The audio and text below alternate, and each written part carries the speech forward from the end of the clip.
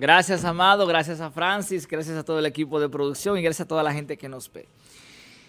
Miren, ahora conversaba con los muchachos de, cámara aquí, el equipo técnico, sobre el porcentaje de vacunados en la República Dominicana. ¿En cuánto está? Eh, que hay, hay una provincia, creo que la Alta Gracia, que está en 104%. Y yo, mira qué interesante, yo no sabía que se podía pasar. Si algo es en función de 100, y tú te podías pasar y decir, mira, eh, aquí vacunamos 104%. Y me vienen con la lógica, me dicen unos camaradas, porque hay, que gente que no son de esa, de, esa, de, esa, provincia y que se vacunan allá. Oíste, Yayan, van a tener que ir al tribunal electoral para definir ese problema. ¿Verdad? Porque nada más ha sucedido eso en votación, que habían 100 votantes y votaron 5 eh, eh, adicionales que no eran de ahí, 105%. Miren, señores, el porciento, para que usted, la gente que nos ve, sepa esto, el porciento de vacunado es ahora mismo una mentira. En el sentido de que no te pueden decir que en la República Dominicana, ¿cuánta gente hay, eh, cuántos habitantes hay en la República Dominicana entre dominicanos y extranjeros? Bueno, de 2010 a la fecha no creo ah, que tengamos pero del 2010... Sí, claro. Estamos yendo. O sea, el último censo que se hizo en la República Dominicana fue en el año 2010. Sí. Están oyendo hace 11 años. ¿Cómo me van a decir a mí que saben cuál es la cantidad de habitantes? Por ejemplo. que yo fui de lo que criticó aquel proceso cuando los alcaldes eran los presidentes de los comités de censo y en aquí a la sazón era Félix. Yo le decía, están usando el mecanismo de censo para darle unas dietas a un grupito claro, y no hacen nada, y, no, hicieron, y, no, llenaban nada. nosotros decrecimos aquí y por eso perdimos un diputado, ¿lo recuerdan? Tú, lo veías. Tenemos un diputado menos. Tú lo veías en un parque llenando la ficha. O sea, en un parque yo llenándola, porque lo que le importaba era salir de eso. Ahora bien, miren, con relación a eso, en, en la época de la independencia de la República Dominicana, en 1800 por ahí, ¿sabe qué se usaba? Que el censo cuando tú te ibas a, mudar de una, de una ciudad a otra, tú tenías que tener un pasaporte. Oigan esto, ¿y qué hacía esa, esa ciudad? Que tenía el control de sus habitantes, de quién se fue y de quién llegó. Por eso era fácil darle seguimiento. Pero aquí, olvídese de eso, aquí no se sabe nada. Aquí no se aplica la ciencia prácticamente en nada. Pero eso, de, los porcientos, no creen eso. Eso es un, eso es un engaño. tú hablas de eso. Sí, yo, yo después lo voy a explicar eso, cómo era antes. Me recuerda eh, que fui quien propuso en la sala capitular y, se, y hay un registro de organizaciones sociales y el registro ciudadano. Claro. Que deben estar en el ayuntamiento. Si yo me voy a mudar a Santiago, yo debo, tener una especie de documento que me avale de que ya yo no soy de San Francisco, sino que estoy en Santiago. Y por tanto, Santiago, si tenía eh, 500 mil habitantes, ahora tiene 500 mil uno. Y si me voy con la familia entera, entonces tendría 500 mil seis. ciudadano se llama. Pues, entonces un registro ciudadano que te permite saber quién, quién está y dónde está. Hay procesos, Pero eso aquí... hay procesos en justicia que se llevan a cabo y, es ante y el ayuntamiento participa porque se le pide que dé el informe de la de la ciudadanía o de ese ciudadano que está ausente. Y, ¿Cómo no? Pero ya eso, miren, Aquí no existe. Ese es otro tema. Miren, ayer, a propósito de ciudades, yo estuve en Puerto Plata. Y en Puerto Plata, la novia del Atlántico, tenía cinco años que no iba a esa ciudad. Y en Puerto Plata algo me llamó la atención, en un centro médico, que me pareció muy interesante lo que vi en su estructura. Y entonces, atención, Siquio, ¿A ti qué te pasan siempre? O, usted lo ve el, programa o cuando no lo ve le pasan la información. Mire esto, póngame el video. Atención a Siquio ONG de la Rosa. Eh, al ese alcalde, no, esa no, la, de, la del centro médico es lo primero, eh, muchachos. Atención a, San Francisco de Macorís. Miren eso. Eso es un centro médico privado, es el centro médico Burnigal, allá en, en Puerto Plata. ¿Qué usted ve ahí que no hay aquí en San Francisco?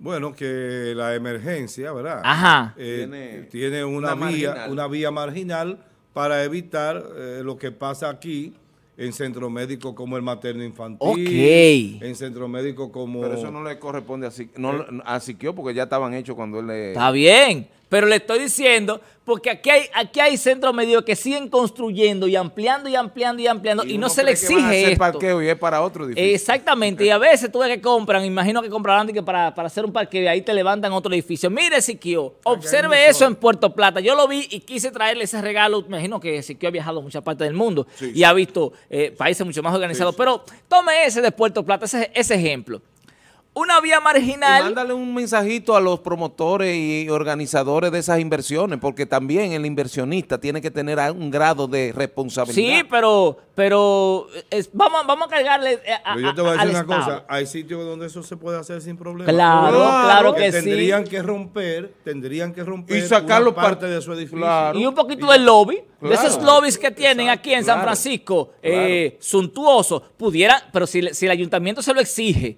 ¿verdad? Mire, usted me está ocasionando un problema, vamos a resolver este problema y ya tiene que hacerme esto, busca la forma de hacerlo. Y esto me pareció muy interesante porque no se congestiona la vía. O sea, todo aquel que se va a parar, que va a dejar un enfermo, que normalmente se toma un tiempo de montar una gente enferma de un vehículo, no molesta, pongan la imagen. El médico más grande de aquí no tiene eso.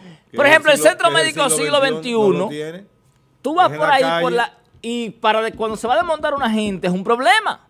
Incluso intentaron hacerlo eh, preocupando la acera y pudieran ellos tratar de buscar una solución parecida a esta del Centro Médico Burnigal en Puerto Plata, donde, miren, ese vehículo está desmontando un enfermo o alguien, no sé. Fíjense ustedes que no, no obstaculice. Miren cómo está esa vía limpiecita, porque no te provoca un problema. Ahora, si se para en el medio y viene otro vehículo y otro vehículo y otro vehículo, eso provoca una situación. Atención, pueblo, tenemos que aprender de, ¿verdad? Y tomar lo bueno de otras ciudades. Eso por ese lado.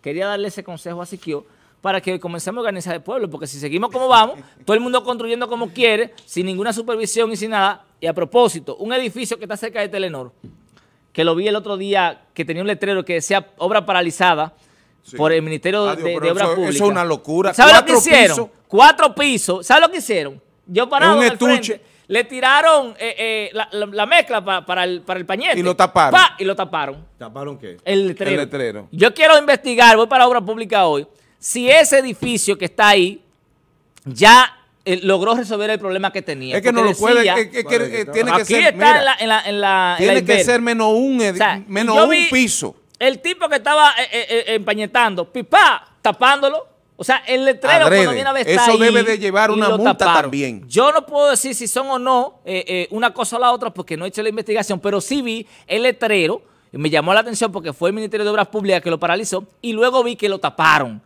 Es decir, que yo no sé si fue obra pública que fue y lo, ¿verdad? Pero yo vi que estaban tapando el letrero, no, retirándolo. Entonces, atención a eso. Miren, por otro lado, atención Siquio. Uno se cansa de decir la cosa, Siquio, Siquio no hace caso. Siquio te quitó una novia. No, lo que pasa es que Siquio no está haciendo la cosa como debería hacerla a, lo, que exigen los tiempos de ahora. Miren eso, póngame la imagen de la basura. Pero fui yo que le di un consejito aquí a Siquio. Le dije, Siquio, la policía municipal, divídela y convierte eso en policía ambiental. Eso es en la Guasuma. Le han creado dos vertederos improvisados, pero eso no es, eso no solamente ahí, eso es en todo Macorís. ¿Qué, qué, hacen, qué hacen los tiguerones?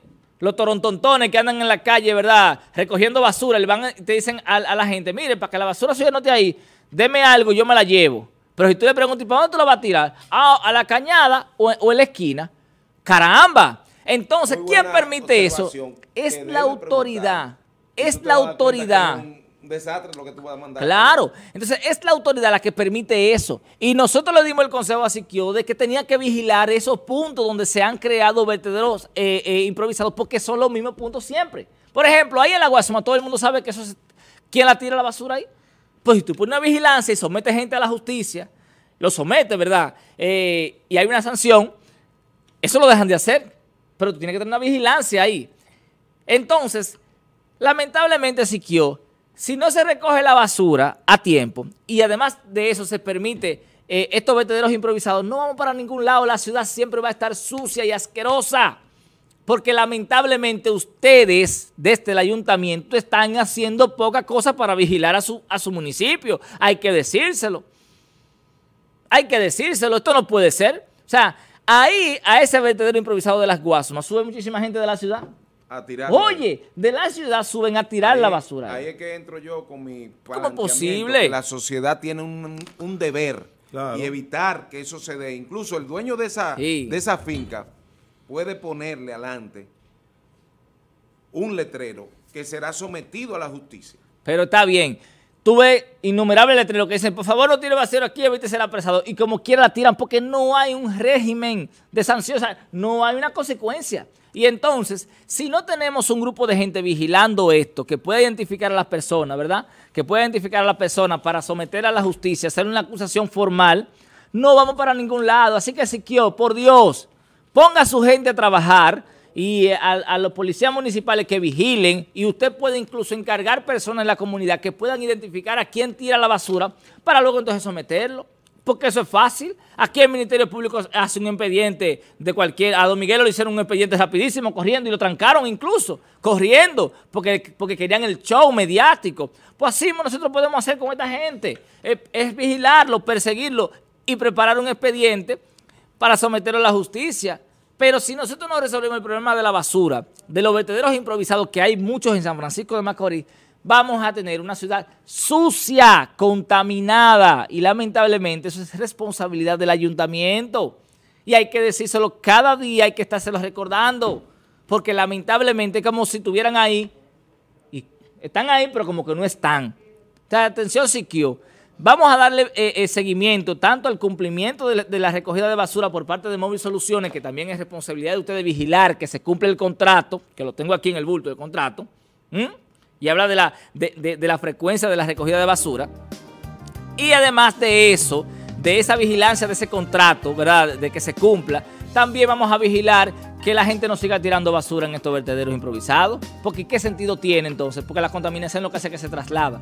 Lamentablemente, Siquio, es la segunda vez que le hago este llamado con relación a los vertederos improvisados y hasta que no se resuelva no lo vamos a dejar de, hacer porque ustedes desde el ayuntamiento, desde el ayuntamiento, se están descuidando de su rol, de ese rol que la sociedad les dio para que representen al pueblo y para que tomen medidas o creen políticas efectivas en beneficio de la sociedad.